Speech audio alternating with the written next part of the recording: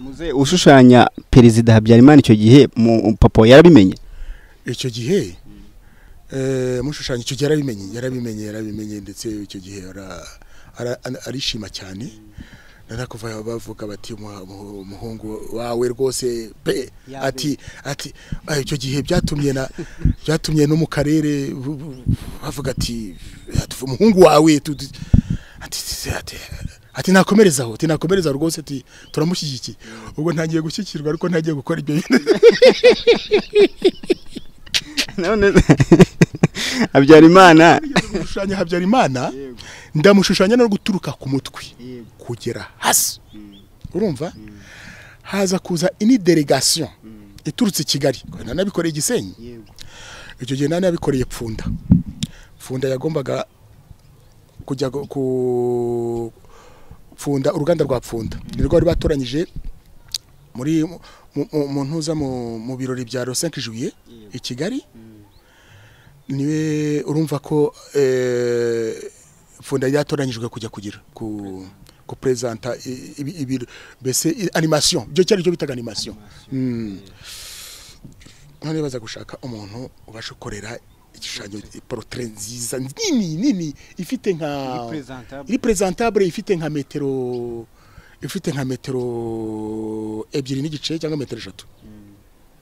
Ndayikora.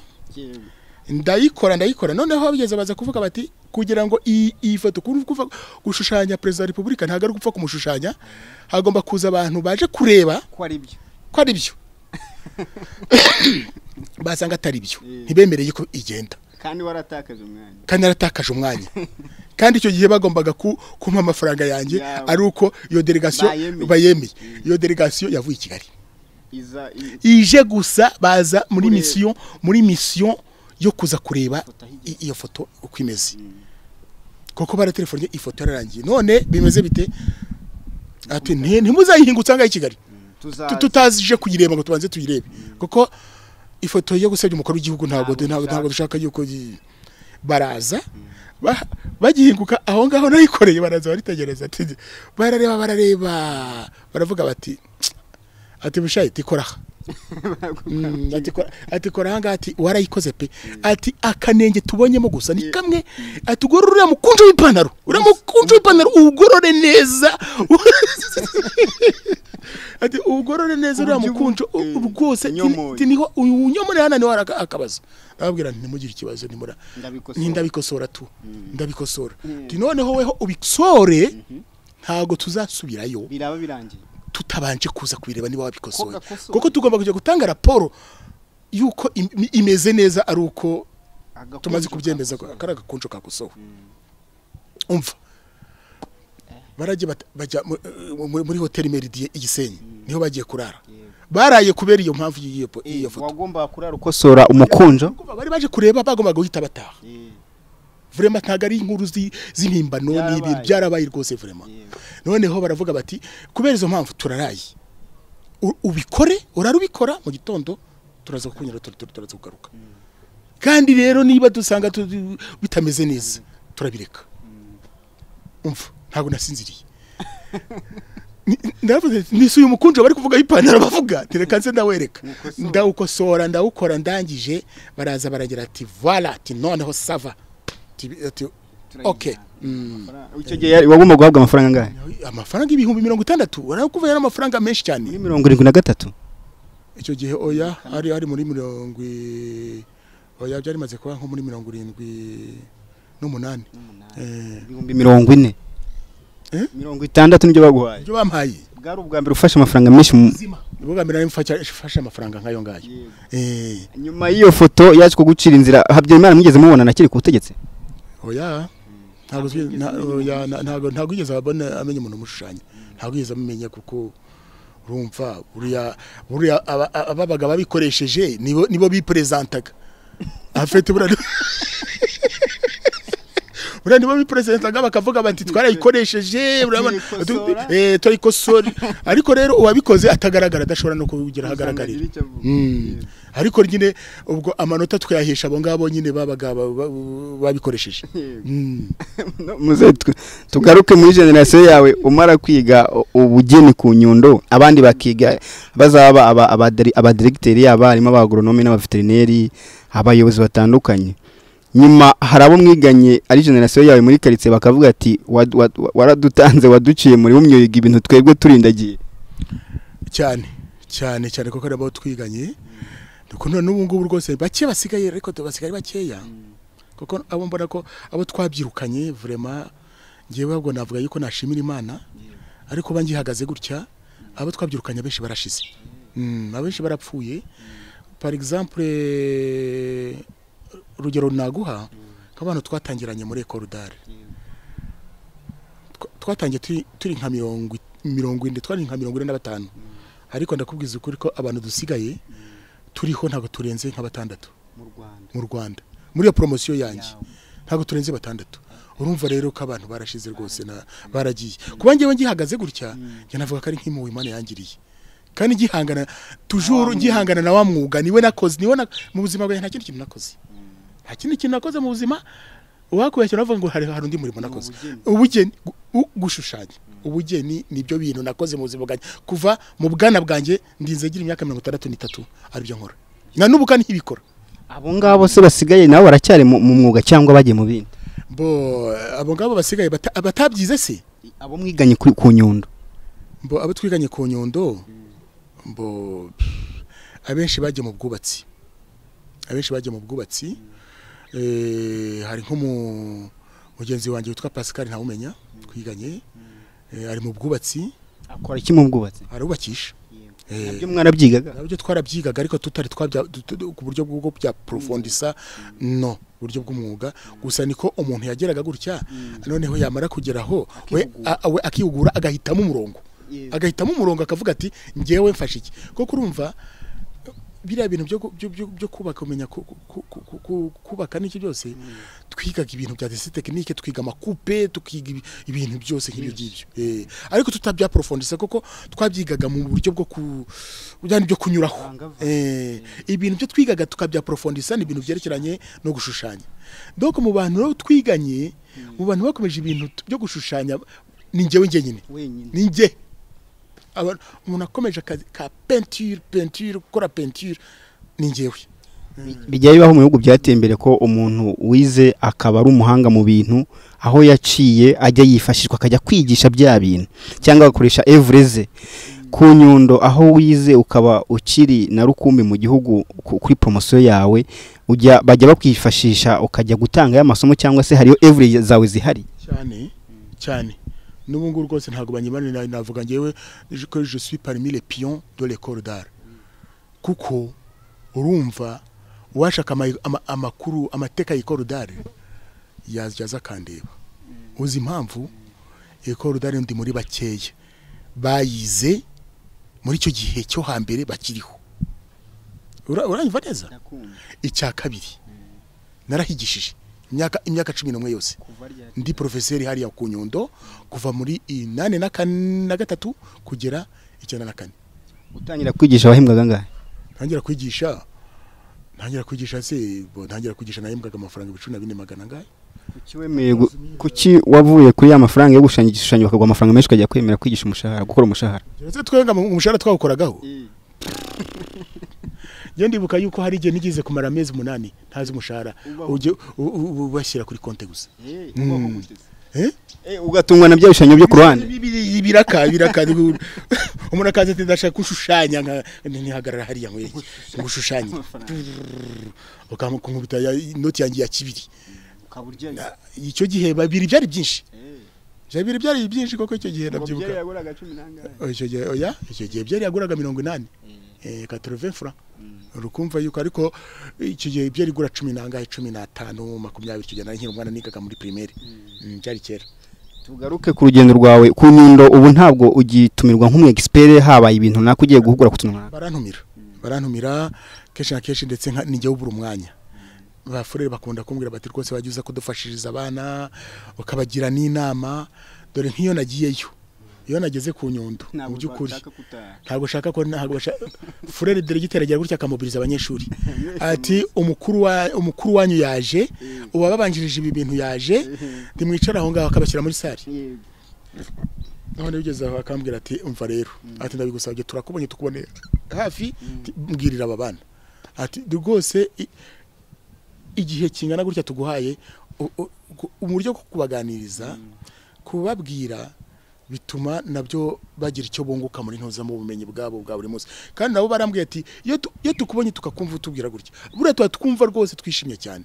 Kuko iyo turanga twiga tukumva ko turi kwiga ibi bintu nta muntu dusura hari igihe twumva yuko turi ibihangange ibi bintu twabimenye cyangwa twageze mu rwego runaka kandi tutazi urwego turiho. Ariko ku bwawe ni wowe ufitemo experience yagije ni wowe wamenya urwego twebwe duherereyeho ariko nkabibabwira. Nkabibabwira kandi bakabyumva kandi bakumvira n'inama zanjye Eh, iyo mbibabwiye barabyumva cyane kandi bikabagirira n'akamaro.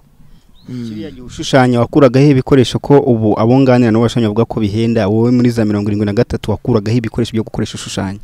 Gukora ibishushanyo wageraga gutyo ukagira nk'inshuti eh, kuko nk'iyo wakoraga nk'uko nguko ntiwaburaga nk'inshuti z'abazungu nka babiri cyangwa batatu uba warakoreye. Kuko hari nk'igihe wageraga gutyo wahura n'umuzungu akakunda nk'igihangano cyawe nubundi icyo gihe cyo wamuporofitagaho gusa nta kindi wamuporofitagaho kumubwira yuko ukeneye ibikoresho. Ko kugira ibikoresho wakagombye gukora ibindi byiza kurushaho ariko bitewe nuko ntaho tubibonera ntaho tubigura hano mu Rwanda noneho ukumva muzungu ah ati ndabyumva kameme kuko ndi stengra problem. Ubwo ako kanya agahita atuma kuri bene wabo wajya kubona akabona bakoresha nka kori y'ibikoresho ushaka nko kuzakoresha nk'amezi atandatu cyangwa umwaka.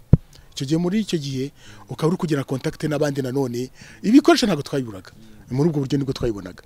Mm. ugeze kuvuga ko abakobwa bigaga ku- kubaka urugo cyangwa se bakiga kwita ku bagabo muri mu makuru familiyare ubu ntabwo ayo mashuri akibaho yaba ari n'amasomo yo hambere ba nyirasenge baga abakobwa usanga bitakibaho. Ushobora kubihuza no, no kuba abakobwa muri ino minsi kubaka ingo bisa nk'ibigenda bibananira tukabona za gatanya nyinshi ko batagifata umwanya wo kwiga kubaha abagabo. Ni na byo birimo. Njye navuga ko na byo birimo. Kuko urabona? Ntabwo numva ko gusobanura ibi bintu bajya bakunda kubimbaza ariko gusobanura ibi bintu nabonye bigoye. Kubisobanura biragoye cyane. Kuko urebye ugereranyije na kera kera nta bintu byarangazaga abantu byari bihariye ntabyo. Urabona ko ubu ngubu hashize ama interinete. Interinete yonyine irahagije kugira ngo isenye urugo. Ikari gusenyera rwose ikari gusenyera hejuru kandi uri kureba. Wowe utabyitwayemo neza. Ariko ubyitwayemo neza uri umuntu w'umunyabwenge uzi neza ko uri kubikoresha mu buryo bwiza. Ariko iyo bigutwaye ntabwo ushaka kubakira ndiyo ndaku- ndakubwiza ukuri. Bo noneho n'ikindi nanone hari ubwo kera umunyarwandakazi yarataramenya agaciro ke. Eh, na byo ni ikintu cyo kwitondera. ni ikintu cyo kwitondera cyane buriya. abagabo bafite ukuntu bakandamizaga abagore agatuza. umugore akumva yuko nta mugabo ubuzima bwe burangiriye aho kandi ko byabaga bimeze. none ubwo byarahindutse ubwo umugore nawe afite uburyo agomba kujera ubuzima bwe. Kandi a- atatepanda ku mugabo. Nta mugabo ubuzima yakomeza bukabaho. Ariko mbere yumvaga ko nta mugabo ubuzima bwe buba yarateye yabaga ari igicibwa. Yabaga ari ukumva ko ibumvaga ubuzima bwabo ari umugabo. Nyine uburyo bw'i- bw'intuza bw'i- bw'i- bw'iterambere uburyo bwo navuga bwa evolution ya buri gihe buri munsi. Niyo um- umu- umugore yagiye yumva agaciro ke akagenda yumva agaciro ke uko imyaka igenda imyaka igenda noneho bigatuma umugabo atashobora gukomeza kumu kugenda mukandagira nk'uko mukandagira. Ayobora nk'uyobora itungo ubu ntabwo byashoboka. Kuko nanone ndatekereza ko hari ukuntu bijya binanirana. Aho ngaho hari n'abagabo muri iki gihe usanga bagifite mm, imyumvire nk'iyo ngiyo. Yo hambere. Abirebeye wenda kuri ba sekuru kuri ba se bitewe n'uko nawe ubwe yakuze agashaka kugira ngo uko yakuze uko yabonaga ise yagira nyina ku buryo agashaka ko noneho kabikura no ku mugore. Abo umugore ategeye we ati ati- ntuzibeshye. Icyo gihe rero iyo byatangiye kugenda gutyo ukumva yuko eh, birazamba cyane cyane biba bishaka iyo hatajemo ikintu cy'ubwihanganirane kandi biriya bintu kubaka urugo kugira ngo ru- ru- rukomere bishaka ubwenge bwinshi bishaka ubwenge bwo kwiyumvisha yuko ukamenya n'agaciro k'umuntu ukamenya ukamenya kumva undi ukamenya uburyo bwo kugira ngo mbese mwumvikane ku kintu icyo ari cyo cyose kuko umenye agaciro ko mwashakanye ku mpande zombi ari umugore akamenya agaciro kawe n'umugabo akamenya agaciro kawe kandi mukagera uko mwuzuzanya mugahuza urwo rugo nta cyaruhungabanya kibaho. Gusa byaprofitiye ku ntege nkeya zigenda ziboneka ku bashakanye bitewe n'ubuzima bwa buri munsi ubu ngubu tunyuramo n'ibintu kera bi- bitabonekaga ubu ngubu biboneka bihari ugasanga rero ibyo byose ari ikibazo. Nahoze mbona ko washushanyije igishushanyo cya perezida kagame ari muri tanzania yahaye perezida john pombe magufuri kiriya gishushanyo baguhaye akazi ko kugishushanyo cyangwa n'igitekerezo cyawe? Wagize ngo ni kiriya gusa se? Kiriya niko ari cyo bagerageje kwerekana. Ibihangano byinshi byo nyakubahwa perezida wa repubulika yagiye atanga ne- ne- ne- ne- nagiye- ibyinshi nkora. Ibyinshi ni byo nagiye kuko bara- barambwiraga bakambwira bati turashaka igihangano kivuga ibintu n'ibi ngibi turashaka yuko hagaragara mu bintu nk'ibi gutyo bakabimbwira igish- igihangano nkagikora. Nagikora rero nkagitanga nagitanga bakagishima bakacyambara neza hanyuma nk'umukuru w'igihugu ya- ya- baje nk'umushyitsi ak- bakagitangamo impano. Igaragaza umuco nyarwanda. Urumva ntabwo wakora igihangano nukora igihangano kandi ari icy'abanyarwanda kandi ari impano igiye gutangwa n'umunyarwanda uyi- uyiha- umushyitsi. Ngo uzagende ushushanye imisozi yo mu bushinwa cyangwa yo mu Bu- mu busuwisi cyangwa ya hehe ntabwo bya- ntabwo byashoboka ntacyo waba ushushanyije. ariko iyo ugize gutyo ugashushanya uburyo abagabo umugabo yahuraga n'undi bagasabana baganira mu biganiro mu buryo bwa kinyarwanda. Umugore ateruye igisabo. Ateruye eh, igisabo byabaga ari ukuvuga yuko urwo rugo rurimo umugisha rurimo rutunze.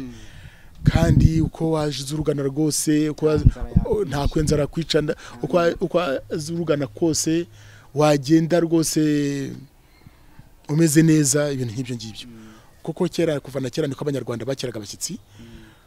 Ubu yaramwakiraga bagasangira akamu- akamutaramira gutarama gutarama rero ni ni kwa kundi hazamo eh, ingoma hazamo intore zihamiriza ibintu nk'ibyo ngibyo. Nibyo byerekana umuco w'abanyarwanda uburyo bajyaga bakira abantu b'abashyitsi.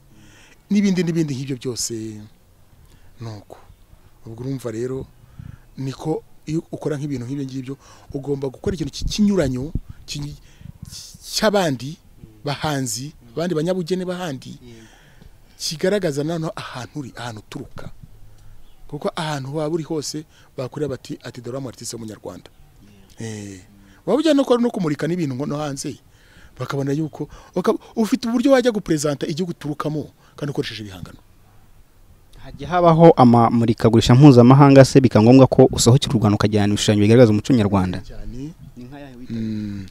hariyo nijya najya nitabira ku giti cyanjye. Najya nitabira cyane na yo ku giti cyanjye. Najyaga ntumirwamo. Ntumirwamo habaye n'amafestivali runaka yo hanze. Eh, bakantumira ati "Tore du- kuzaza gukora ama exposition. Urumva mu Bufaransa nakoreye exposition inshuro ebyiri. Mu Busuwisi nakoreye exposition inshuro ebyiri. Mu buhorandi naho hari ka presentation artistique nakoreyeyo. No muri afurika y'epfo pretoria naho hari exposition nakoreshejeyo. Ni byo bihugu maze kugeramo urebye ayo maserukiramuco cyangwa se amamurikagurisha kwitabira byasabaga iki byagendaga gute? Kuyitabira eh, niko gusa burya baba hari ukuntu ukora wamara gukora nyine bakakumenya. Bakakumenya iyo umaze kwandika izina burya nta nta bindi biba biruhije birimo. Ikigutangaza niko muri ibyo byose bagiye bantumiramo ntabyo nagiye nsaba. Nagiye kubona mbo- mbona za invitation gusa. Ati se ko dushaka gutegurira umwanya wo kuzaza ku exposa ngaha uri "Ndi- ni rwose nza ndi ndi- ndi pure nta kibazo. Ati rero iki iki ni iki kwezi kunuku turagutegereje ubwo tujya gushyira kuri gahunda y'u- y'uko ugomba kuza gukoresha exposition. Wenda bakubwira bati ufite exposition nk'enye cyangwa eshanu uzakoresha mu ma mu ma region anyuranye yo mu gihugu. Baka- ukabuze aho ugomba kuzajya ukagenda ugakorera ugakorera exposition zawe warangiza ugataha. Bakiraga gute ibihangano wabaga wajyanye uvuye mu rwanda ugereranyije n'iby'abanyamahanga wabonaga babyakira gute? Neza cyane. Kuko icyo ushaka gukora kugira ngo ibintu byawe bigire valere binagire n'imbaraga ukora ibintu nawe ubona ba- badasanzwe bazi. Ukabona bibatiye amatsiko kureba uko uzanye ibi- ibintu by'ibihangano batamenyereye. Kuko hari ibintu burya nta martisi ukora nk'undi. Nta martisi ukora nk'undi keretse wenda baba bashaka Kwigana. abandi ibintu nk'ibyo. Ariko iyo umuntu afite sinyatire iyo ufite ntuzaye originalite yawe ni byo upresenta. Burya ibintu upresenta ni we ubu upresenta wowe. Buriya ibitekerezo byawe bikurimo ni byo ni byo ni byo ugaragaza. Noneho tekinikoma n'uburyo uba wabikoze kuko na experience nyinshi uba ufite n'ibyo waba warakoze n'iki byose ubwo uragenda ugakora nyine ukakora ugashyiramo ikinyuranyo n'ibyo abandi basanzwe bazi.